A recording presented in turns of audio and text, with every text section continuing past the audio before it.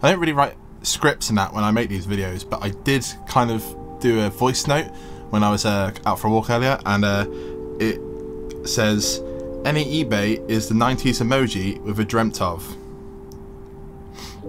It's not even close to what I said. Welcome back to another video, uh, and this one is a particularly exciting one, which I'd probably say most times I make videos. But today we will be making the 90s e-bike of our dreams. That's right, we're converting one of my 90s, 90s back. That's right, that sounds like a game show or something. But we're going to convert my Scott Sawtooth that we built in the last the last build we did um, to an e-bike. I'm going to be doing that with the help from my friends at Swytch. So I told them all about the Scott and uh, told them what I was doing with it, told them what I was building, that I was kind of making this like ultimate commuter that I wanted to ride for the rest of the year, and uh, they were kind enough to send out one of their Swytch kits. In this video, I'm going to spend time just building it all up. Uh, we might go for a little ride at the end, uh, but I wanted to kind of see how easy it is to set up. This is a consumer conversion kit. The idea is that you can buy this online, put it on any bike and make it an e-bike. I'm definitely into that type of stuff. Uh, I want cycling to be as accessible to everybody as possible and I think that's what this is. I'm a big fan of this product. Um, so today it's going to be a case of building it up, seeing how good the actual kit is itself and uh, yeah, see if it lives up to my high standards. I, I don't have high standards, I just like old things and I quite like electric things, so beep, beep, beep, to kind of make this a kind of a fair build as well, I'm not going to use my bike stand, I'm not going to use like, all my massive tools, I'm going to try and use the, the bare minimum of stuff. Because this is designed for consumers, I'm going to use it as a consumer would, so you know, with minimal tools and just kind of essentially on my kitchen floor. So without waffling on more, let's, uh, go on my kitchen floor and build a bike with an e-bike. Build a Let's do a Swytch kit. So this is my Scott Sawtooth. Uh, if you haven't seen this video, I'm going to link it right on the display right now. Uh, and today we are going to be using the Swytch bike to turn this Scott Sawtooth into an e-bike using the Swytch kit.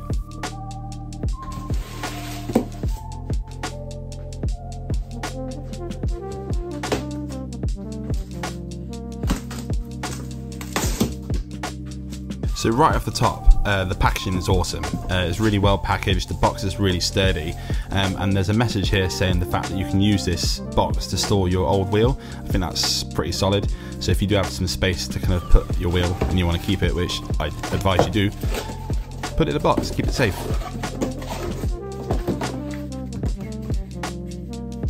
So inside the box you'll find a couple of other boxes. The first one has the, the mounts and the charger in it and some of the adapters and the sensors, all that kind of good stuff.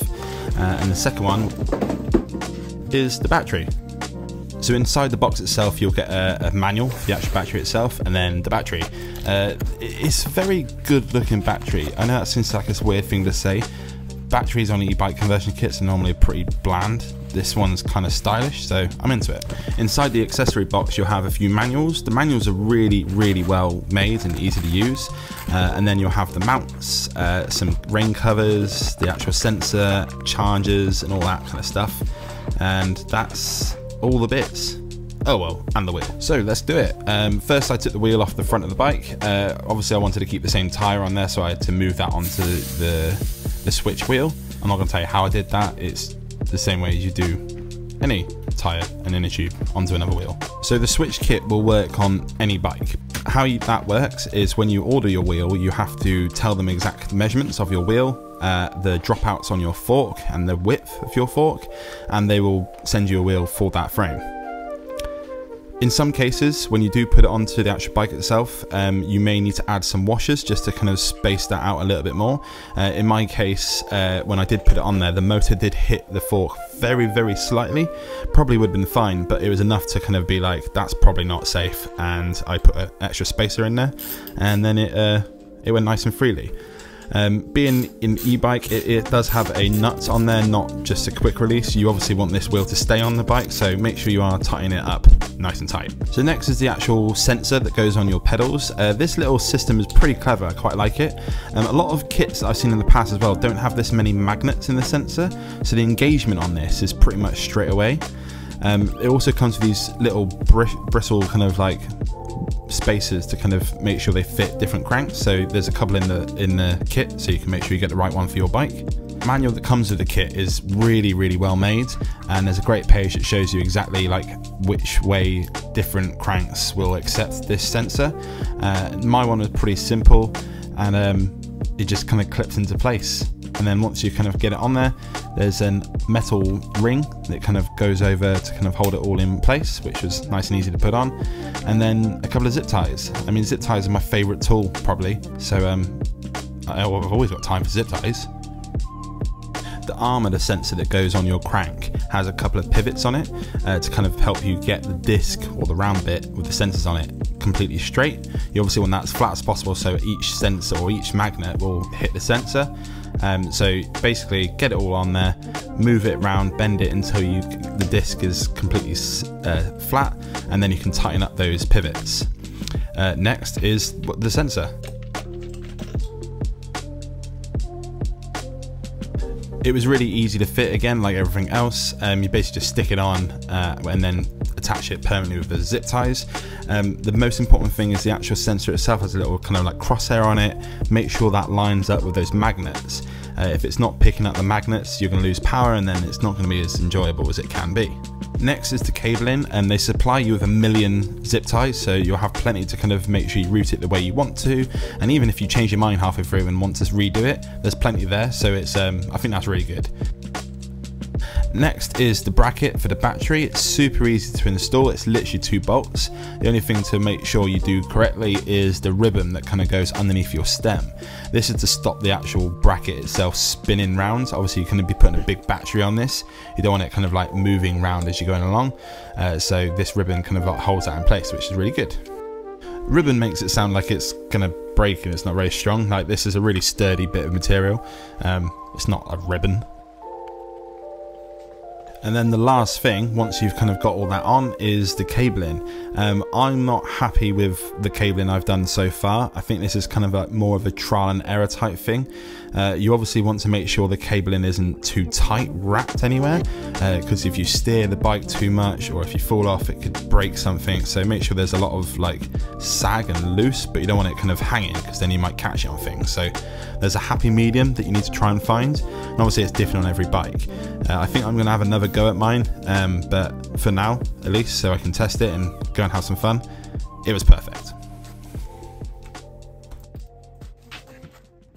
Right then, first test with the uh, Swytch kit. It's a bit chilly. And we're on.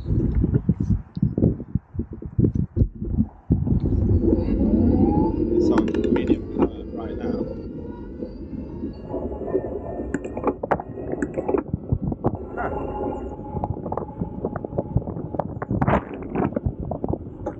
Alright.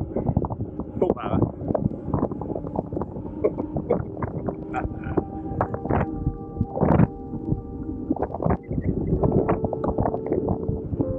Got some kick. Alright, let's take it for a proper ride. And we're going to leave it there. I'm honestly crazy impressed with the way that went. Like, I honestly thought this part of the video would be me kind of telling you about how to get around this thing and how to do this and like all the little tips and tricks you need to kind of get something to work. But it was flawless. It works really, really well. Everything's really well thought out. Uh, the instruction manual is really easy to use. It's got really clear photographs in it. It's all round a great kit. So I highly rate it. And this is before I rode it. Um, I have now taken it for my ride. Um, the next video will be me essentially taking it for a commute. That's what this whole build is about, is commuting Ultimate Commuter. But that's what the next video will be, us riding the bike. But I also want to go and take this to my dad and let him have a ride. Um, I strongly stand by the fact that e-bikes and these types of kits in particular are to help people access cycling.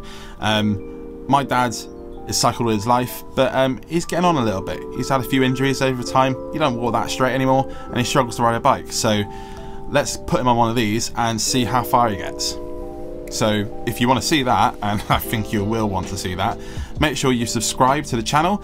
Oh, and we have new stickers. Uh, over Christmas I was giving away a sticker for free when you make any order of stickers. Uh, so you all love that so much, so I decided to do it again. Uh, so this is the new free sticker. It's the logo. It's the logo sticker that I have at the beginning of every video, and a lot of you have said that should be a sticker, so it's a sticker. But not only that, um, I'm going to give it to you. All you need to do is buy a sticker from my website. The link is, or the the website's here, and the link will be below. And um, yeah, that's that. So don't forget to subscribe, and if you want to see another video and you can't wait until next week, that one is a particularly good one.